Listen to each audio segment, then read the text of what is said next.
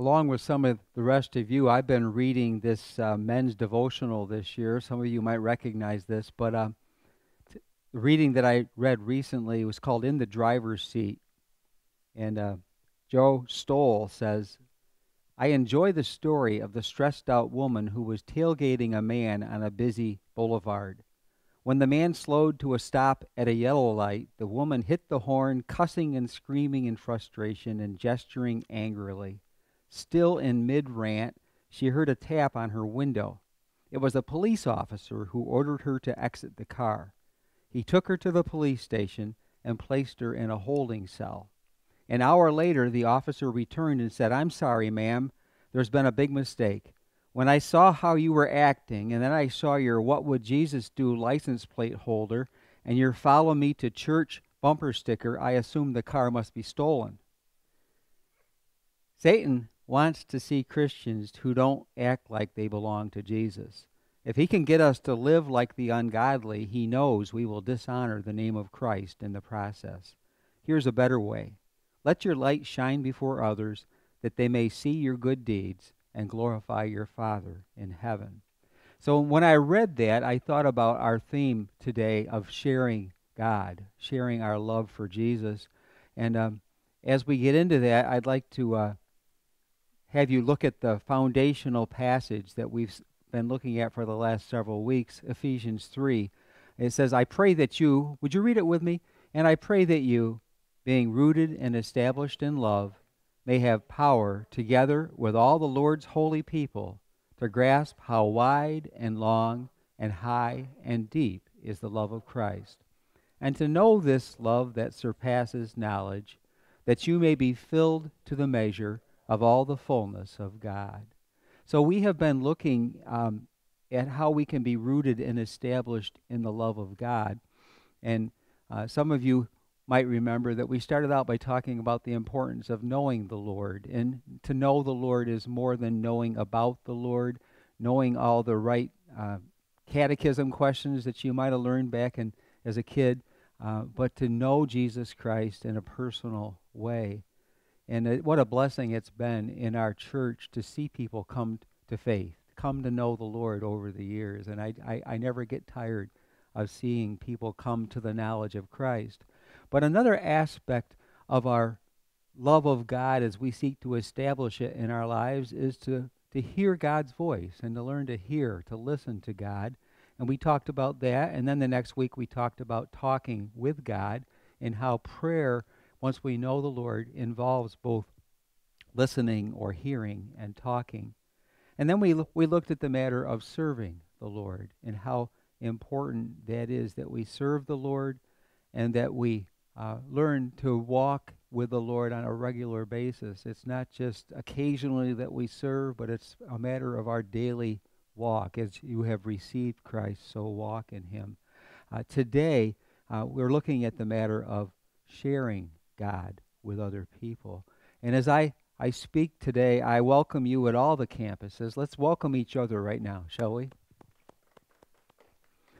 I am away this weekend participating in the Upper New York Conference Board of Ordained Ministry interviews of new clergy. I think we're interviewing 19 uh, potential pastors this weekend. And so I'm with you by uh, video technology in each situation. This is not a, a warm getaway, it's someplace between Syracuse and Binghamton. Every time I've been there, we got hit by major snowstorms. So uh, don't wish that you were there necessarily. Uh, when we talk about sharing God, I, I have a statement in your notes. If you haven't already taken them out, if you would please, that a Christian disciple who shares God is someone who meets, knows, and follows Jesus. To meet Jesus, as I, I already said, is a matter of knowing Him. Um, have you been introduced to Jesus Christ? And if so, um, how has that made a difference in your life? So, so you meet the Lord, and then you come to know the Lord. And I believe that as we know the Lord, we grow in our knowledge of the Lord. Can you say that today you know the Lord better than you did a year ago right now or a week ago right now? Is there a, a growing process in your life?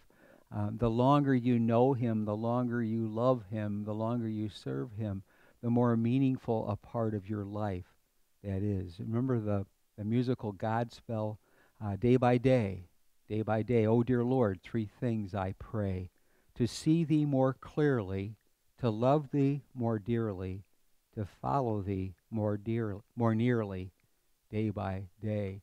And that concept of following the Lord more nearly is, is what we're really uh, emphasizing uh, today. Um, when I think about sharing God, I think about a very simple formula that we're taught in Closer Walk weekends. And we've had a couple hundred people from PAUMC participate in Closer Walk weekends. By the way, there's a weekend coming up this month of March and another one, women, coming up in April. If you have any questions, you're interested, talk to your campus leader about that. But the, the concept of sharing God can be boiled down in the Closer Walk teaching to three things to make a friend, to be a friend, to bring a friend to Christ. And, and that's so important. That's friendship evangelism. It's sometimes called relational evangelism. Um, I was reminded of a song I learned as a new Christian uh, that the title was Two Hands. And uh, we're given two hands. One, uh, uh you, you use your two hands as you accept Jesus with your whole heart. With one hand, you reach out to Jesus. With the other, you bring a friend. And so we're called to reach to Jesus and then be able to, to bring a friend and to share God with a friend, to introduce our friend to Jesus Christ. And it is your responsibility, my responsibility, our responsibility to bring Jesus to other people. So that's sharing God. For that to happen, uh, I don't know who said this first. If it is to be, it is up to me. Say that with me. If it is to be, it is up to me. If sharing God is to take place, it's up to you and me. The song that we will be listening to during communion today, and I hope more than listen to, you'll sing along with it wholeheartedly with all your heart, is The Mission by Steve Green. To love the Lord our God is the heartbeat of our mission, the spring from which our service overflows. Across the street or around the world, the mission's still the same to proclaim and live the truth in Jesus' name. When I think about sharing God, I'm reminded of a, of a story that occurs in Luke's Gospel, chapter 5, verses 27 through 32. It involves uh, Levi being called by Jesus to follow the Lord. And it says this After this, Jesus went out and saw a tax collector named Levi sitting at the tax booth. Jesus said to Levi, Follow me, and he got up, left everything, and followed Jesus. Then Levi gave a great banquet for him in his house. There was a large crowd of tax collectors and others sitting at the table with them. The Pharisees and their scribes were complaining to Jesus' disciples, saying, Why do you eat and drink with tax collectors and sinners? Jesus answered, Those who are well have no need of a physician, but those who are sick. I have come to call not the righteous, but sinners to repentance. And it says after this, what was going on just before that in, in Luke chapter 5 is that where people were coming to Jesus to be healed. They were seeking after Jesus. Isn't it interesting in this case? It's Jesus who goes out and calls this man Levi. We don't know if they had a, a historic relationship before that, if he already knew this Levi, he says, Hey, follow me. And Levi does. And that's kind of a mystery to know what is what exactly had transpired before that. So in the context of other people coming to Jesus, Jesus reaches out and shares God with Levi. Um, interesting to, to look a little more in depth at this story, and I would lift up to you several ways. I, I counted six ways uh, that, w- based on w- Jesus' experience with Levi, that uh, we can share God in a natural way, so that it's not being weird or pushy, but just in a natural, uh, non-threatening way. First of all, we learn from Jesus to move toward people who have questionable morality. You know, doesn't that go against our grain as religious people to go reach out to people with questionable morality. He was certainly called to task by the religious leaders and the Pharisees and the scribes. What are you doing hanging around with those people? You know, and, and Jesus had time for those people. We we're going to be looking in a in a moment a little more in depth at one of those people in John's Gospel chapter 4, uh, the woman at the well. And we're going to come back to her in a second. But also I think about John chapter 8. The woman's caught in adultery and the religious leaders were they were just gleeful. They they got Jesus. They're gonna they're really gonna catch him this time because they throw her at Jesus' feet. This woman was caught in the very act of adultery. By the way, where was the guy? And uh, the law says stone her. What do you say? And Jesus said, Well, whoever with you doesn't have a sin, you throw the first stone. And they just kind of all slithered away. Um, we, we see the example in Luke's Gospel, chapter 15, of the prodigal son. The son who kind of thumbs his nose at his father and says, I wish you were dead. I wish you'd give me my inheritance now. And he takes and he, he leaves and he runs away and he wastes it all. And the father continues to look forward to the son coming back. And it says that when the son finally returns, the father's looking and watching the horizon and he sees his boy coming and he runs to him and he hugs him and embraces him and welcome, welcomes him back into the family. So, regardless of people's morality or the mistakes they, they have made, Jesus teaches us to move toward those people, not away from those people. Number two, don't focus on what's wrong with people. I love that Jesus was hanging around. This Levi, this guy with questionable repute, has a party. And Jesus is enjoying the party and enjoying the people because those people need God. He helped the people to feel accepted and comfortable around him and loved. Do we help people to feel accepted and comfortable and loved as we engage with them, regardless of their lifestyle? You know, do they, they sense an acceptance and a, a, a love from us. A third thing that we see about Jesus is that we need to go where people are, even if it's uncomfortable. We're called to be in the world, but not of the world. We're to dare to go into the world. Um, I am I am very fascinated by something that's just developing at our Watkins campus that I want to uh, reinforce, and, and the first one of them just happened, but it's called First Fridays on, or yeah, First Fridays on Franklin. And Franklin Street's the main drag through Watkins. And uh, the merchants, the, the people in Watkins have a big emphasis on getting people on the first Friday to go uh, door to door. Well, they extend Franklin two blocks. So that just includes our church house there. And uh, most of the stops involve alcohol, you know, and you, you pay $10 and you go and you get your ticket punched and you get you take a I think they give you a wine glass you take with you and they fill your glass wherever you go. Well, we aren't going to be offering wine at the church house. I'm sorry to, if I disappointed you, but we call this our healing and wholeness ministry and we're going to offer a, a family friendly, a kid friendly event inviting them to come. We're going to have an open mic opportunity, uh, kind of a like our food cupboard uh, fundraiser, uh, talent or semi talent, but it's open mic and it's uh, games for the kids. And uh, we're going to have uh, each of these participants in Friday on Franklin uh, has a, a, Watkins vendor. The, one of our first vendors was a cupcake lady. And so we're giving away her cupcakes. But they come and they participate, and we want people to feel accepted and comfortable and loved as they come to our, our church house there right in the village of Watkins Glen. I lift that up as one example. You folks at the mall campus have had a lot of experience at Fresh Start Corner. Now we're just starting to figure out how to use Miracle Mile for outreach. We continue to work at using Pine City campus for outreach so that um, we can go where the people are and welcome the people, uh, even though it might be a little uncomfortable feeling at first. Another thing that we see Jesus doing is to spend laid back time with people. Not always to have an agenda. It's not always to lead them to a saving knowledge of Jesus Christ, but it's just to be real and to be authentic and to, um, uh, as we have said at Lifetree, we love hanging out with you.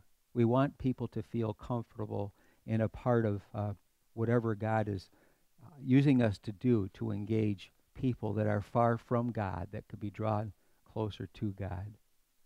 And as we reach out, number five, we seek to balance truth with grace. Um, John says in chapter 1, verse 17, For the law was given by Moses, but grace and truth were realized through Jesus Christ. Uh, grace and truth came through Jesus. So we have the law, we have the rigid yes, no, black and white, 613 examples of that in the Old Testament. But we see in Jesus a difference between law and gospel, law and the grace of the good news of Jesus Christ. And we want to find that balance. And so we, we love people as they are and invite them to come to a knowledge of Christ. And then the sixth thing that we see Jesus doing is uh, it says, Look around you. He looked out and he saw Levi, and he invited Levi, Hey, come follow me. And that changed Levi's life. We need to be aware of the people around us. I mentioned the woman at the well. John chapter 4 is devoted to the story of this woman who goes to get water at the well at high noon when no other women would be there so she doesn't have to risk the embarrassment or the social ostracism there. But Jesus is there, and he said he had to go through Samaria. It's like he had this divine appointment to meet this woman, and he's there and he uh, engages in conversation with her. And it's fascinating that because he listened to the, the leading of the Spirit, and he had to go through Samaria when everybody else went out of their way to not go to Samaria. The woman's life was changed dramatically, so dramatically that she went back to her village where the people didn't think very highly of her, and she spoke of Jesus in a way that intrigued them. In fact, I'd like to read from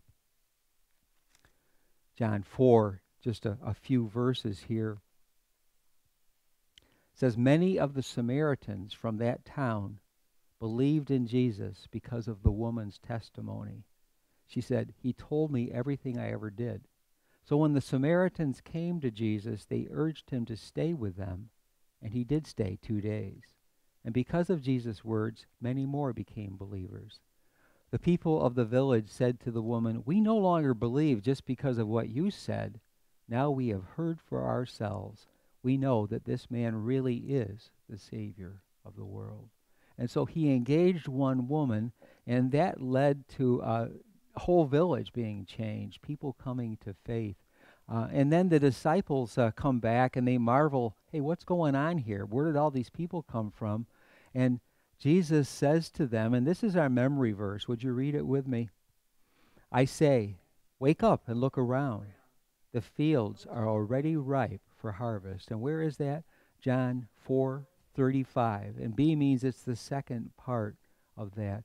Um, Jesus is calling them to go out into the fields, not to wait for the people to come to them, but to go to the people and to reach out to them and realize that there's a harvest to be gathered if we're obedient to God's call.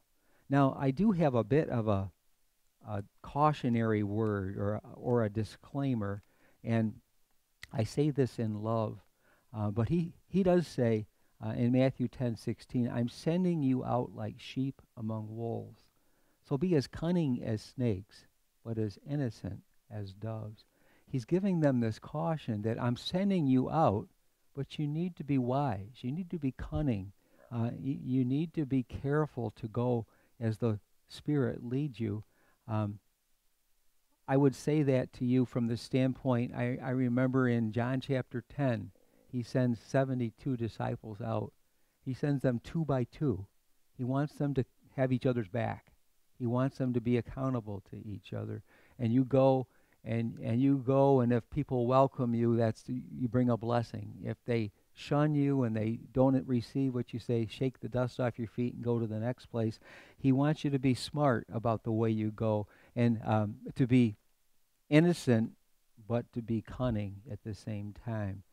And I say that to say, uh, be be discreet. Be use good judgment as to where you go when you when you reach out.